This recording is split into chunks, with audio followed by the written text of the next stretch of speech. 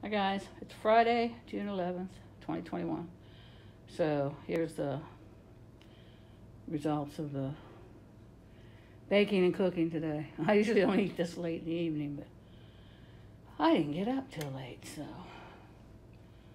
And uh, yeah, so I made fajita, pan fajitas. It's my daughter's recipe. She made them when I was up there visiting, and they were so good, so I got the recipe. And I haven't been eating bread now for like a month, so I put mine on salad with cheese on top, and I don't have any sour cream, forgot to get it, but that would be good too if you wanted to do that. So yeah, they're pan fajitas, and use chicken or um, steak, quarter cup of virgin olive oil. Well, that's what I had. You could just use plain olive oil, and then um, chili powder, salt and pepper. Mix it all together and put it in the oven on 400 for like 20, 25 minutes till the veggies are however you like them. I like them crisp, but not too crisp. And then, of course, it, would be really good if it was rolled up in a fajita with, with sour cream. But, uh, yeah, I haven't ate bread for a month now.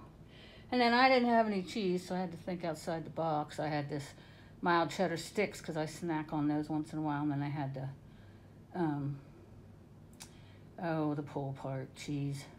I can't think of the name of it right now. String cheese, mozzarella string cheese. So um, I got the grater out and grated it.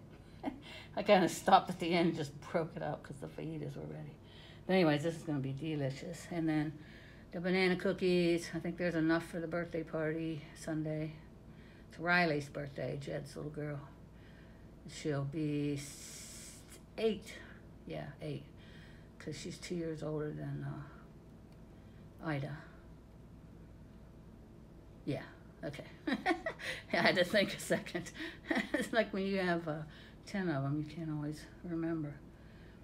But anyway, I'm going to go and enjoy these fajitas before it gets too much later. So, love you guys. Talk to you later. Have a fantastic Friday and a better weekend. Stay safe. Bye.